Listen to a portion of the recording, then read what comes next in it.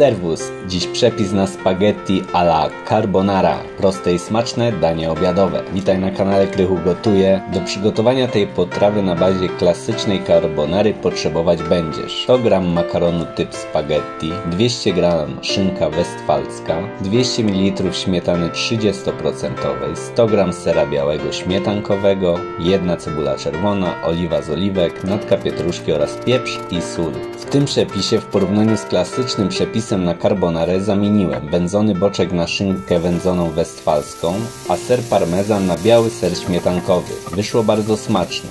Zapraszam do obejrzenia filmu. Szynkę pokroiłem w paski, podobnie cebulę. Wszystko smażyłem na oliwie, aż lekko zbrązowiało. W tym czasie ugotowałem makaron lekko al dente. Dodałem do szynki. Teraz czas na sos. 3 jajka, 200 ml śmietany 30% oraz 100 g sera białego śmietankowego posoliłem i popieprzyłem. Wszystko wymieszałem na jednolitą masę. Dodałem do makaronu z szynką i na wolnym, bardzo wolnym ogniu gotowałem, tak aż sos się podgrzał. Życzę smacznego i do następnego gotowania.